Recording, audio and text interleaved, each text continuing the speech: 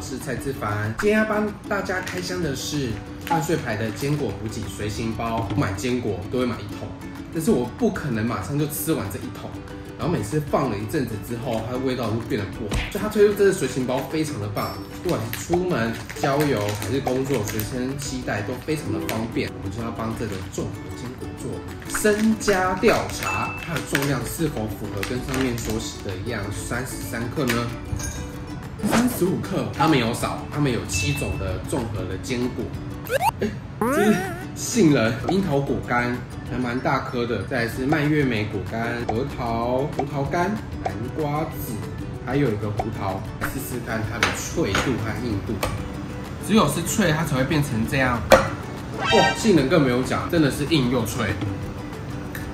葡萄也脆的，没有做任何调味，对身体比较不会有负担。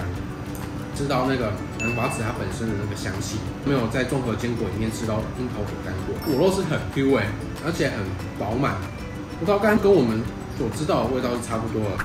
蔓越莓的肉它也是很厚实，还是带一点水分的感觉，真的蛮好吃的。不管是硬度、脆度，而且果仁的香气和 Q 度都非常的好。万岁牌坚果补给随行包一组四十四包，只要一千元，一定要去买一组放在家里啊！